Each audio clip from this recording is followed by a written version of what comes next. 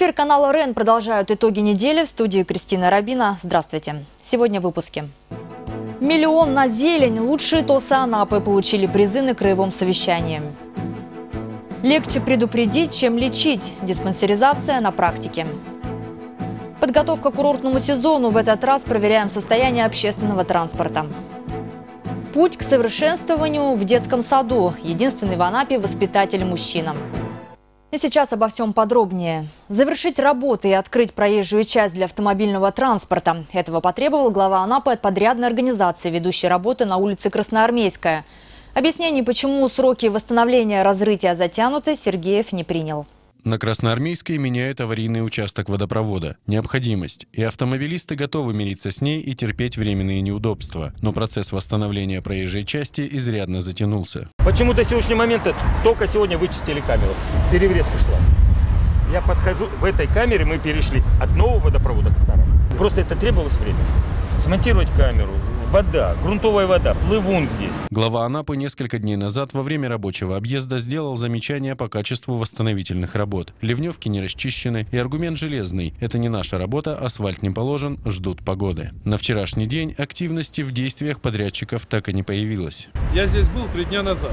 Что изменилось, скажите? 5 марта вы начали работать. Да. Сколько надо времени, чтобы положить вот эти 150 метров? Сергеев был непреклонен завершить работы и засыпать разрытие. Сегодня требование главы выполнено. Заметно, правда, что спешили. К восстановлению проезжей части подрядчикам надо подойти с большей ответственностью. В противном случае придется платить неустойку и переделывать. Состояние еще одного разрытия в центре города стало предметом критики главы. НЭСК электросети тянут новую кабельную линию для повышения качества энергоснабжения. Но даже такая благая цель не должна оправдывать средства. Для разрытия используют современный метод горизонтального бурения. А вот о качественном ограждении, предупреждающих табличках для пешеходов, не подумали. Я реалист вообще, понимаете? Вот когда туда упадет ребенок, не дай бог, вы найдете и на ограждение средств, Энергетики пообещали, что учтут сделанные им замечания и ускорятся в сроках восстановления разрытия. В Крымске состоялось зональное совещание по итогам работы территориального общественного самоуправления Кубани в 2014 году. Совещание провел председатель законодательного собрания Краснодарского края Владимир Бекетов. Подробности в сюжете. Из 15 тысяч зарегистрированных в России ТОСов почти половина в Краснодарском крае. Территориально-общественное самоуправление стало главным помощником местного самоуправления. Мы сегодня видим, что ТОС – это составляющая местного самоуправления. Мы видим, что местное самоуправление в Краснодарском крае состоялось. И э, благодаря ему активность населения растет. О деятельности органов ТОС наглядно свидетельствовала тематическая выставка. Видно, что общественники занимают важное место в местном самоуправлении. Не зря мы называем наши ТОСы маленькими мэрами. Так и есть на самом деле, потому что никогда власть не дойдет до э, крайнего двора, на крайней улице, чтобы узнать проблему всех его жителей. Если не будет э, актив, если не будет общественников, которые будут в этом помогать. Здесь же подвели итоги краевого конкурса на звание «Лучший орган ТОС» и наградили лауреатов. Напчанка Наталья Ключникова второй раз является победителем конкурса. За первое место 500 тысяч рублей. Уже есть планы сделать реконструкцию большой спортивной площадки 12 микрорайона. Я коренной житель Анапы. Вот. Постоянно среди людей, среди населения.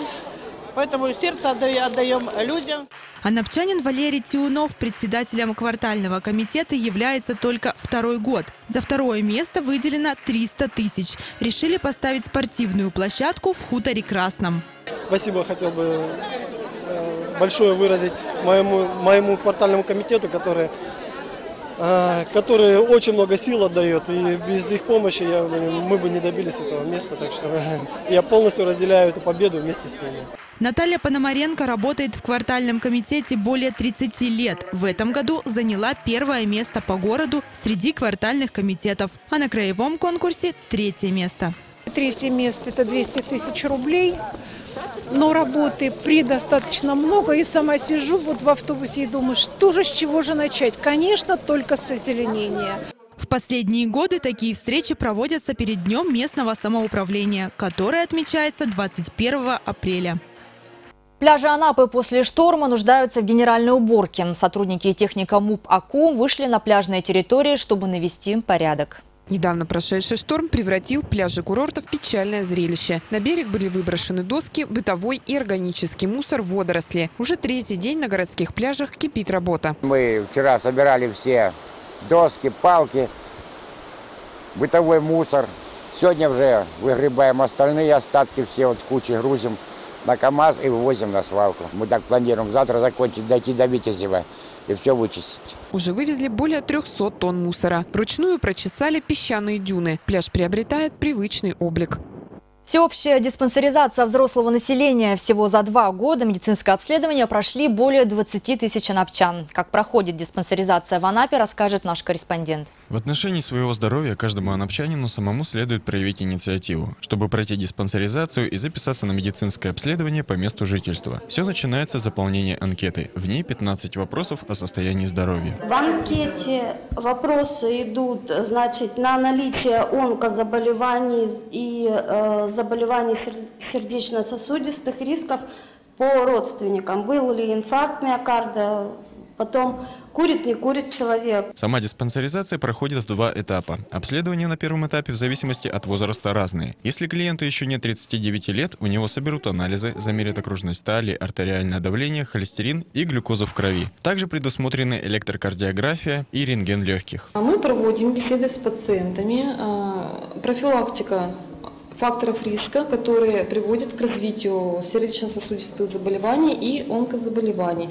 такие как э, отказ от курения, пагубное потребление алкоголя, излишний вес, нерациональное питание. Тем же, кому за 40, ждет более подробное обследование. Если первичное выявить заболевание, пациента ожидает второй этап. Если э, терапевт выявляет заболевание какое-то, то на второй этап он отправляет уже по узким специалистам. Это невропатолог, эндокринолог, э, хирург и уролог. И здесь одним осмотром дело не окончится. Врач может дать направление на самые разные диагностические процедуры. Все расходы берет на себя государство. Каждый человек должен знать о состоянии своего здоровья, и в этом вот как раз нам помогает диспансеризация, чтобы выявить э, какие-то болезни на ранних э, этапах или стадиях, и чтобы вовремя их э, начать лечить. Такой вид медобследования просто необходим, уверяют врачи. Диспансеризация выявляет на ранней стадии многие заболевания. Среди них ишемическая болезнь сердца, сахарный диабет, онкозаболевания. Пройти диспансеризацию в 2015 году смогут люди определенных годов рождения. Информацию о диспансеризации можно узнать в 106 кабинете городской поликлиники. Работа общественного транспорта для курортного города – важная составляющая сферы обслуживания. Соблюдение графика движения – не единственное требование к предпринимателям. Качество должно быть во всем, во внешнем виде автобусов и работе водителей. Пассажирские перевозки должны быть комфортными. Наша съемочная группа спросила тех, кто пользуется общественным транспортом, довольны ли они состоянием автобусов, их внешним видом, насколько внимательны к своим пассажирам и вежливые водители. Такого, чтобы ждать и долго где-то приходилось стоять, не было. Как бы все нормально. Здесь всегда только набрался, сразу поехал. В салонах чисто. Никогда такого, чтобы куча грязи была, даже вот в дожди не было. Есть водитель у нас один очень хороший. Вот белая маршрутка стоит. Эм, как его? Дядя Эдик зовут, да? Вот дядя Эдик. Он как бы у него в маршрутке все чисто, он очень нам нравится. И вежливый такой, добрый, хороший человек, как бы. Ну, не знаю, у него все в порядке с графиком и с как бы с маршруткой, все чисто всегда. Наш 110-й изумительные, ходят регулярно, вот, водители очень внимательные, доброжелательные, все. Я бабушка-пенсионерка, я езжу по талонам. И вот никаких нету ни препятствий, нигде ничего. Мы очень им благодарны. По правилам пассажирских перевозок транспортное предприятие обязано выпускать на маршрут чистые автобусы. Но на остановке около Южного рынка можно заметить, что этот пункт водители выполняют не всегда. После дождливой погоды некоторые до сих пор не привели транспорт в порядок. От жителей продолжают поступать жалобы на график расписания маршрутов и санитарное состояние автобусов. Я езжу на 129-м, на 130-м. График очень редко соблюдается. Суббота-воскресенье – это нереально, чтобы они были по графику. На нашем маршруте все вежливые, в салонах чисто. Ну, водители, в принципе, адекватные. Я бы не сказала, что они невежливые. Ну, в салонах, да, не мешает быть чище. Вот. Ну и плюс, если это старые маршрутные такси, то есть абсолютно ужасном состоянии. Эту информацию мы обязательно передадим в Управление транспорта и связи администрации. Однако, ко мнению жителей города-курорта в отношении транспорта, должны прислушаться предприниматели, которые занимаются перевозками. Именно они и обязаны исправить недочеты, чтобы не портить картину впечатлений гостям курорта. Если же предприниматели не обратят внимания на замечания, может им стоит сменить вид своей деятельности. Не только мусор на газонах и тротуарах, но и складирование стройматериалов, нарушение правил благоустройства. И не важно, что газон возле дома и стройки во дворе. Места для хранения нужно находить другие. В противном случае штраф. Жильцы дома номер пять в проезде подстанции начали строительство хозяйственного блока, причем с нарушениями правил благоустройства. На газоне развернули склад строительных материалов. Сотрудники управления муниципального контроля приняли меры. По данному факту нарушений проведена профилактическая беседа с жителями о категорическом запрете что-либо складировать на муниципальной территории, составлен протокол и передан на рассмотрение в административную комиссию. За нарушение анапчане заплатят штрафы. Наверняка проведут генеральную уборку на газоне и тротуаре. Захламлять мусором территорию общего пользования в то время, как как весь город готовится к праздникам и приезду гостей, опрометчиво. К тому же игнорировать требования навести порядок довольно накладно. Сумма повторного штрафа увеличивается в разы. Главное управление МВД России по Краснодарскому краю совместно с отделом МВД России по городу Анапа в режиме видеоконференции провели презентацию Всероссийской акции МВД России «Поколение Великой Победе». Начиная с сегодняшнего дня на главных страницах сайтов МВД России будут ежедневно размещаться видеоролики. В них ветераны, бывшие сотрудники органов внутренних дел и учащиеся высших и средних учебных заведений читают стихи о войне. На сайте уже размещено более 20 очерков об участниках Великой Отечественной войны, ветеранах ОВД, около 100 тематических, в том числе и уникальных фронтовых фотоснимков. Создана рубрика «Милиция Кубани во время войны». И сейчас расскажем о событиях, которые запомнились анапчанами, гостям курорта за минувшую неделю. Всемирный день здоровья анапчане отметили большим праздником на Театральной площади. Провели утреннюю зарядку, получили бесплатные консультации врачей курорта. 2015 год объявлен в России годом борьбы с сердечно-сосудистыми заболеваниями. На общегородском дне здоровья медики рассказали жителям Анапы о факторах риска возникновения болезни системы кровообращения и их профилактики. Благоустройство и наведение санитарного порядка в городе-курорте – самая актуальная тема минувшей недели, предстоящих тоже. Обеспечить цивилизованный внешний вид объектов придорожной торговли, пресечь любое движение транспорта по пляжам. Эти и другие поручения дал на общегородском планерном совещании в администрации глава Анапы Сергей Сергеев. В городе продолжаются мероприятия всекубанского двухмесячника по наведению санитарного порядка и благоустройства. В списке дел по наведению порядка на предстоящие выходные – вымыть и окрасить ограждения вдоль дорожного кольца возле санатория «Россиянка» и благоустройство подхода входов и подъездов ко всем кладбищам.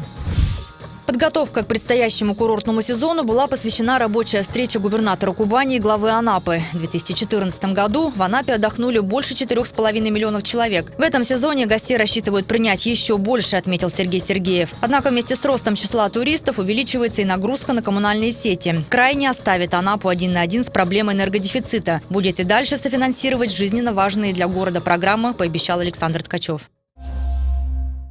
Акция «Бессмертный полк» продолжает пополняться новыми именами. Письмо пришло от Юлии Святовой, которая рассказала о своем деде Алексее Потоцком. Алексей Васильевич был участником Великой Отечественной войны. Когда он попал на фронт, ему не было и 18 лет. Продолжит Алина Гумерова.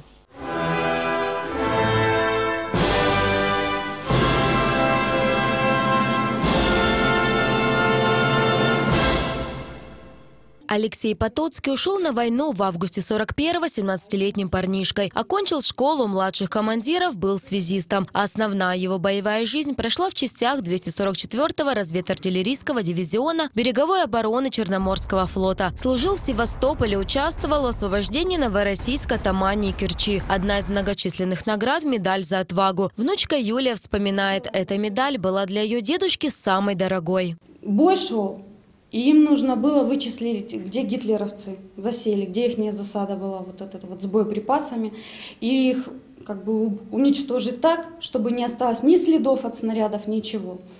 Вот. И они нашли точку и все сделали настолько как бы умело, за что вот он и еще его сослуживец получили вот эти вот награды за отвагу. Точным и метким ударом артиллеристы уничтожили вражеский склад боеприпасов. Алексей Потоцкий был готов отдать жизнь ради победы над врагом. Для меня дедушка-то, наверное, один из главных людей в моей жизни. Его 21 год уже с нами нету. Вот, но я его очень люблю. Для меня этот человек действительно герой. После войны Алексей Васильевич встретил свою будущую супругу. Участвовал в восстановительных работах родного города Анапа. Праздник День Победы для семьи был и остается самым святым и важным. Каждое 9 мая мы ходили с дедушкой на демонстрации, на парад. Вот даже фотография у меня есть, это я маленькая. Вот.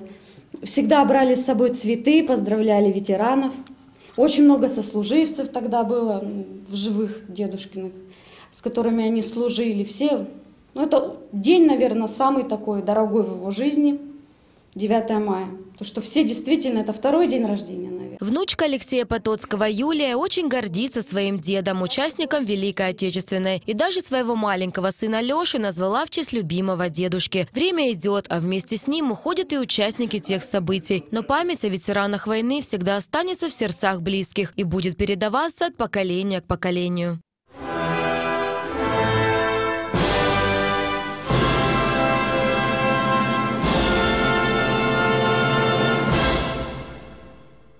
Военные песни в исполнении пожилых для школьников. Клуб «Ветеран» устроил ребятам концерт. Да так зажгли, что весь зал стал подпевать, расскажет Рената Кадырова. Катюша, Родина, Землянка, под баян. На сцене актового зала хор «Все любя». Концерты, посвященные Великой Победе, проходят ежегодно и стали уже доброй традицией. Школьники вспоминали военные песни и с удовольствием подпевали. Мне понравилось петь песни с ветеранами, но я чувствовала какую-то ответственность. Но достаточно красиво. Ребята должны знать, что было не только во время войны, но и после. Когда не возвращались отцы, когда матери в одиночку справлялись с домашними делами. Важно помнить и чтить тех, кто отдал своей жизни за чистое и светлое небо над головой, уверены школьники. Хотелось бы, чтобы чаще вспоминали о войне, Помнить историю значит меньше совершать ошибок в будущем. Поэтому и подобные встречи не прекратятся. Они проходят во всех школах. Другим темам операция с кодовым названием «Тонировка» проходит в Анапе. Владельцам транспортных средств придется заплатить штраф за нарушение требований к светопропускным способностям лобового и боковых стекол. Эксперты предупреждают, ни одна пленка не соответствует требованиям технического регламента. Светопропускная способность должна быть не менее 70%. За несоблюдение правил грозит штраф от 500 до 1000 рублей. За повторное нарушение или неустранение предписания инспектора снова штраф или административный арест до 15 суток. Весь личный состав и взвод ГИБДД по городу Анапа, сотрудники роты ДПС активизированы для борьбы с данными нарушениями. Рейдовые мероприятия проходят э, по всему городу. Вот, значит, патрулям ставится задача для выявления именно таких лиц, э, э, выявления и составления административных протоколов. Вот. Также э, водитель может устранить данное нарушение на месте, то есть содрать пленку, но все равно за то, что он управлял, будет составлен административный материал. С начала года уже привлечено к ответственности более 500 автовладельцев. По сравнению с прошлым годом цифра возросла вдвое. Тхэквондо – путь к совершенствованию. Мастер спорта России по тхэквондо Вячеслав Белых и представить себе не мог, что еще больше самосовершенствования требует воспитания детей. Единственный в Анапе мужчина-воспитатель. И какой мужчина? Пока дети спят и видят добрые сны, он поправляет им одеяло, наводит порядок в игровой. Вячеслав Белых работает воспитателем всего полгода. Мастер спорта России по тхэквондо, он около восьми лет тренировал детей. Воспитывал призеров всероссийских соревнований. Детский центр «Семушка» пришел тренером. Когда предложили стать воспитателем, не отказался и не жалеет. Папы зарабатывают деньги и не могут уделять детям столько внимания, сколько мамы. А мужчина-воспитатель – большая редкость. У нас везде женское воспитание. А если вот взять прежние времена, в семьях были гувернеры мужчины. И мужское воспитание должно присутствовать. Это важно и для мальчиков, и для девочек. Для детского центра Вячеслав стал настоящей находкой. Большое внимание уделяет физическому развитию малышей. Стремится сделать их сильными и здоровыми. Проводит спортивные мероприятия. Мне нравится самому наблюдать то, как ребенок вырос вот под моим руководством, да, когда он приходит, он не может не отжаться, не прыгнуть, э, элементарных вещей сделать, то есть не может. а проходит месяц, два, три, ребенок что-то делает. И не только в спорте. Всей группой мастерили макет города. В преддверии Дня космонавтики занятия о космосе. Самое время делать ракеты. С таким воспитателем и в космос не страшно. У него всегда порядок. Мы идем на прогулку, и у меня, наверное, такое где-то тоже есть внутри. Я чувствую себя некомфортно, если какому-то ребенку не заправил футболку, штаны, да, чтобы там он был одет, обут, не завязан там шарф или шапка у него на бок, ухо открыто. Каждому ребенку как к собственному. У молодого человека подрастает сын. Вячеслав учит детей и сам учится у них. Путь к совершенствованию проходят вместе. Нужно быть прежде всего искренним перед детьми, да, не стоит э, обманывать их, не стоит показывать свою наигранность, да, ну, откровенно относиться к детям. Бросается в глаза спокойствие и невероятное терпение, самообладание и умение держать эмоции под контролем. Разве что в такие минуты Вячеслав и сам снова становится ребенком. Какая из команд по волейболу представит край на всероссийских соревнованиях, выясняется на спартакиаде в Анапе. В спортивном комплексе «Волейград» проходит отборочный тур по волейболу. Подробности в сюжете. Прежде чем попасть в финальный этап спартакиады по волейболу, команды прошли строгий отбор. Только 16 команд попали на краевые соревнования. Из них определят победителей и сформируют сборную для участия в дальнейших соревнованиях. Лада Санькова увлекается волейболом 6 лет. Волейбол стал не просто спортом, это ее образ жизни. День без тренировки для меня уже тяжело. На душе становится не очень, я всегда иду на тренировку, где мои друзья, которые меня поддерживают, и мой любимый спорт. Вероника Мали, по примеру мамы и папы, мечтает стать тренером по волейболу. Девочке всего 6 лет, но у нее уже много медалей и грамот. Здесь играю,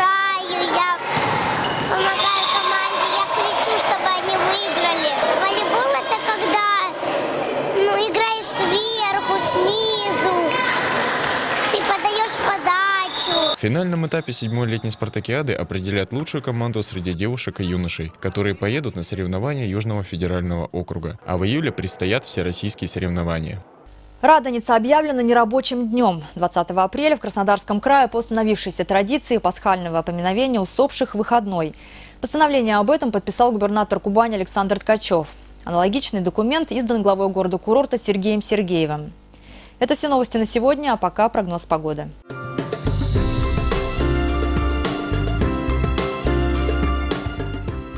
Здравствуйте! После дождливой и хмурой недели солнце и ясная погода в субботу как нельзя кстати. Наконец-таки выходные ожидаются теплые и солнечные. Днем в субботу до плюс 12 градусов тепла. Ветер будет все тот же, северный, но стихнет до 3-4 метров в секунду.